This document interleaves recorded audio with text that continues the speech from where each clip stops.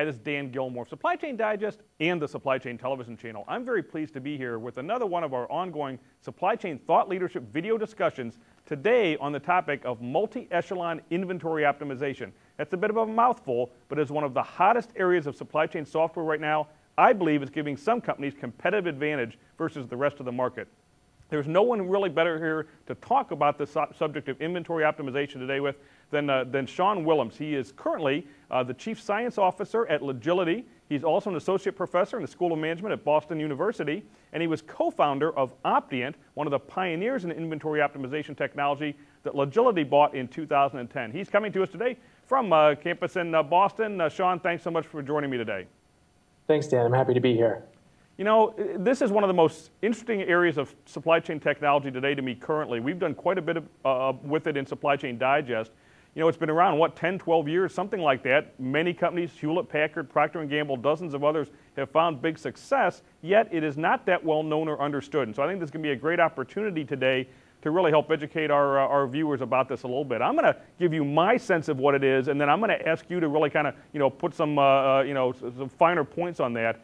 I'm going to start by saying sort of what problem it's trying to solve, and that is that traditional supply chain planning systems, as many people don't know, frankly, uh, or you know, APS systems as they're sometimes called, really can only look at one level or echelon, that's where that uh, echelon term comes in, at a time, sometimes even a single node, and that they really can't understand the upstream and downstream impacts of those decisions. And so what you get is kind of what I'd call local optimization.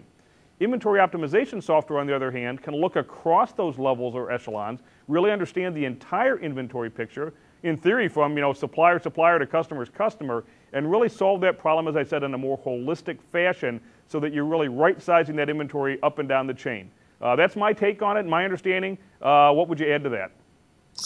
Yeah, Dan, I think that's a, that certainly is a good characterization. Uh, this problem, multi-echelon inventory optimization, it is, as you say, it's optimizing inventory levels and locations across the supply chain. The only piece I'd probably add to it is that we need to marry it with the existing technology that already exists in the company. So these companies have made big investments in APS systems. So we need to sit on top of that APS system and work with it as opposed to be something sort of off in the corner. But beyond that, I think your explanation spot on. Yeah, uh, I guess the, the secondary point to what you just said there is it also means you're not ripping out your entire APS system to put this in. As you said, you can, you can layer it on top. Now, again, my understanding is while you, you know, in theory could, and maybe some people eventually get there, optimize literally from supplier, supplier to customer's customer, the reality of it is companies usually break the problem into smaller chunks, don't they? Kind of inbound and outbound maybe as, as two examples. Yeah, absolutely. You know, it's it's a, one of the sort of slight misnomers. You know, when people first think of supply chain, they think of you know sort of their raw material all the way through to the final customer. But the reality is that no first sort of inventory optimization project stretches those boundaries. Companies will get there, but that's not where they start. Where they start is either raw materials through to the finished goods distribution center or the finished goods distri- distribution center out to retailers. And the reason for sort of this break at the distribution center comes entirely down to the control in the company. Usually, raw materials up to finished goods report up to, say, a VP of operations or a chief operations officer, whereas distribution center forward report up to someone, the general manager with profit and loss responsibility. And as we all know, when you do optimization, you make different decisions. And when you make those decisions, someone needs to sort of adjudicate disputes. So, for example, if we're reducing inventory at one location but increasing it at another, a very common thing in multi-echelon inventory optimization, that's going to please the person who's doing the reduction but displease the person who has to hold more if they don't have the same ultimate manager, then those metrics can't get aligned. So usually we always start sort of either finished goods out through the retail or raw materials into the distribution center. Okay, uh, very well said. Uh, you know, the other thing, we were preparing a little bit, you know, for this uh, video course, and you talked about, you know, the two opportunities with inventory optimization a strategic opportunity and a tactical opportunity. Uh, from what we discussed, I think most people think about I/O in that sort of tactical level. How do I sort of immediately reduce inventory? But but why don't you kind of take us through those two uh, vectors of uh, I/O impact? Yeah, absolutely. When we think of tactical inventory optimization, that's optimizing every item at every location for every time period. That's a very large problem, right? that's a problem that to solve it has to be integrated into the planning system, has to be done in an exception-based way as part of your monthly S&OP planning process. So that is tactical inventory optimization. Strategic inventory optimization looks at a higher level. It's looking at which items should I outsource? You know, which, where should I put postponement in my supply chain? How do I allocate a scarce inventory budget across the supply chain? These two models, these tactical models and strategic models, they work together. The tactical model is the pain point. It's the thing that people need to solve as part of their monthly planning process. But once you do that, it's what I call the virtuous cycle of inventory optimization. Then you can build on top of that the strategic work because now you've built this foundation where people trust the answers because it's running their planning system. But now you can solve a whole set of decisions that you couldn't do before. And that's what the strategic benefit gets you that you couldn't have. When you do this together, you get this virtuous cycle where you improve inventory results, not just on a monthly basis, but then with these step change improvements with the strategy.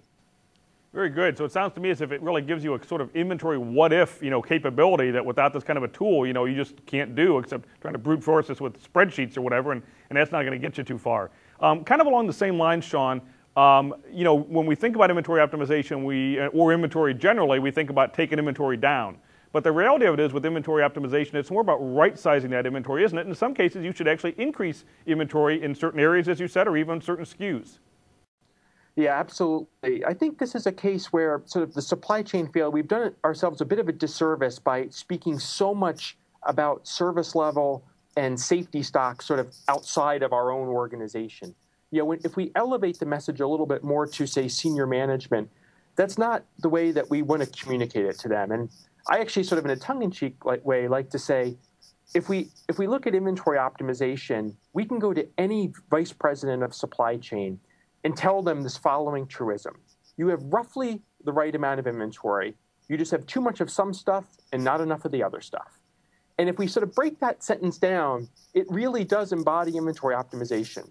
You know, you have roughly the right amount of inventory is true. You know, they at a high level they've balanced capacity and supply. But at a detailed level, they likely are running too low on some of the SKUs and they have too much of the others.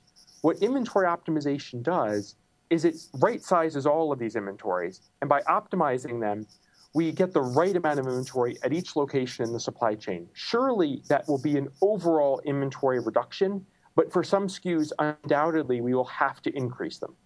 Yeah, that's fantastic. I love that kind of introduction to the problem to the executive. You've got about the right amount of inventory. I think that's a very powerful way to think about it. Uh, I attended the Logility User Conference a couple months ago, I believe, uh, in, uh, in New Orleans.